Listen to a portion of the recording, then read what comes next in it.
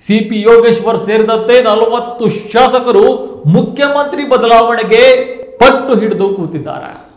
ಆದರೆ ಈಗಾಗಲೇ ಹೈಕಮಾಂಡ್ ಮತ್ತೆ ಬಂಡಾಯ ಶಾಸಕರ ನಡುವೆ ಮಾತುಕತೆ ಕೂಡ ಈಗ ನಡೆಸಿರುವಂತದ್ದು. ನಾಯಕತ್ವ ಬದಲಾವಣೆಯ ಪ್ರಶ್ನೆಯೂ ಇಲ್ಲಿ ಇಲ್ಲ. ಬಿಜೆಪಿ ಹೈಕಮಾಂಡ್ ಕೂಡ ಇದನ್ನ ಸ್ಪಷ್ಟಪಡಿಸಿರುವಂತದ್ದು.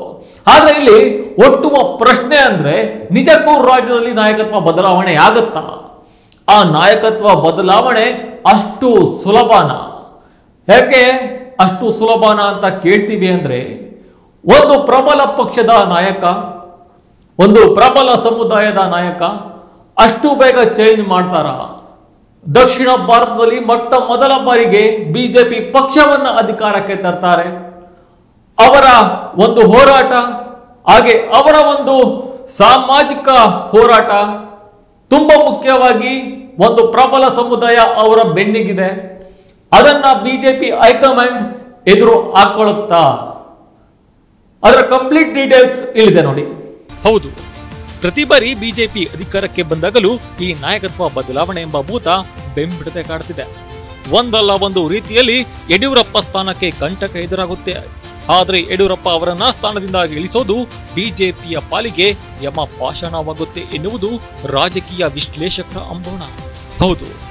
ಯಾಕಾಗಿ ಬಿಜೆಪಿಗೆ ಯಡಿಯೂರಪ್ಪ ಅನಿವಾರ್ಯ ಎಂಬುದನ್ನ ನಾವು ತಿಳಿಬೇಕಾದ್ರೆ ನಾವು ಎರಡ್ ಸಾವಿರದ ಏಳರಿಂದ ಇಲ್ಲಿಯವರೆಗಿನ ರಾಜಕೀಯ ಬೆಳವಣಿಗೆಗಳನ್ನ ಒಮ್ಮೆ ಗಮನಿಸಿದ್ರೆ ಸಾಕು.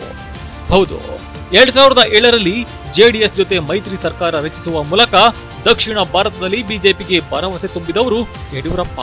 ನಂತರ ಜೆಡಿಎಸ್ ಅಧಿಕಾರಕ್ಕೆ ಹಸ್ತಾಂತರ ಮಾಡದ ಕಾರಣ ಸರ್ಕಾರ ಮುರಿದು ಬಿದ್ದು ಮತ್ತೊಮ್ಮೆ ಚುನಾವಣೆ ಆಯಿತು. ಆಗ ಭರ್ಜರಿ ಬಹುಮತದೊಂದಿಗೆ ಬಿಜೆಪಿ ಅಧಿಕಾರಕ್ಕೇರಿತು. ಆದರೆ ಬ್ರಹ್ಮಾಂಡ ಭ್ರಷ್ಟಾಚಾರಗಳು ಯಡಿಯೂರಪ್ಪ ಅವರನ್ನ ಜೈಲಿಗೆ ಹೋಗುವಂತೆ ಮಾಡಿತ್ತು. ಆದರೆ ಅವರ ವರ್ಚಸ್ಸು ಮಾತ್ರ ಕಮ್ಮಿಯಾಗಿರಲಿಲ್ಲ.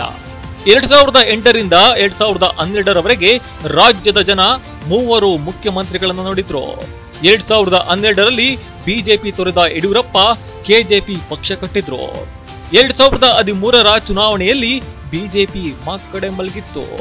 ಬಹುಮತದೊಂದಿಗೆ ಆಯ್ಕೆಯಾಗಿದ್ದ ಸರ್ಕಾರ ಯಡಿಯೂರಪ್ಪ ಇಲ್ಲದೆ ವಿರೋಧ ಪಕ್ಷದ ಸ್ಥಾನದಲ್ಲಿ ಕೂಡ ಕೂರಲು ಯೋಗ್ಯತೆ ಪಡೆದುಕೊಳ್ಳಲಿಲ್ಲ.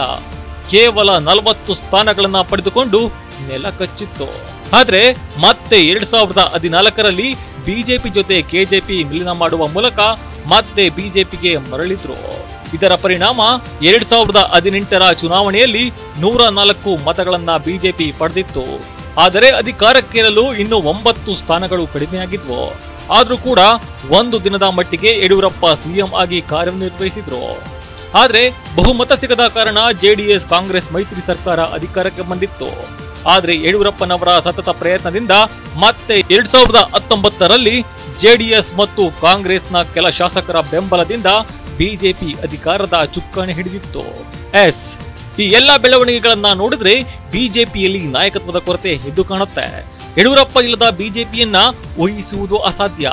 ಯಡಿಯೂರಪ್ಪ ಜನ ನಾಯಕರೇಗೋ ಹಾಗೆಯೇ ಒಂದು ಪ್ರಬಲ ಸಮುದಾಯದ ಮುಖಂಡ. ಯಡಿಯೂರಪ್ಪ ಅವರನ್ನ ನಾಯಕತ್ವದಿಂದ ಕೆಳಗಿಳಿಸಿದ್ರೆ ಒಂದು ಸಮುದಾಯದ ಬಿಜೆಪಿಯಿಂದ ದೂರವಾಗುವುದು ಸತ್ಯ. ಅಲ್ಲದೆ ಬಿಜೆಪಿಯಲ್ಲಿ ಸದ್ಯದ ಸ್ಥಿತಿಯಲ್ಲಿ ಯಡಿಯೂರಪ್ಪ ಬಿಟ್ಟು ಬೇರೆ ಯಾವ ಪ್ರಬಲ ನಾಯಕತ್ವ ಇರುವ ಮುಖಂಡ ಯಾರೂ ಇಲ್ಲ.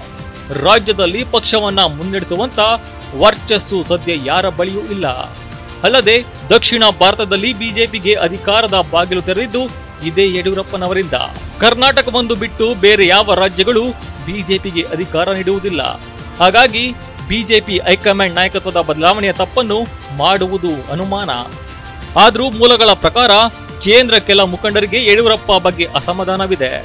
ಆದರೆ ಯಡಿಯೂರಪ್ಪ ನಂತರ ರಾಜ್ಯದಲ್ಲಿ ಯಾರು ಎಂಬ ಪ್ರಶ್ನೆಗೆ ಮಾತ್ರ ಉತ್ತರ ನಿರುತ್ತರ. ಮುಂದಿನ ದಿನಗಳಲ್ಲಿ ಬಿಜೆಪಿ ಹೈಕಮಾಂಡ್ ಯಾವ ನಿರ್ಧಾರ ತೆಗೆದುಕೊಳ್ಳುತ್ತೆ ಎಂಬುದನ್ನ ಕಾದು ನೋಡಬೇಕು.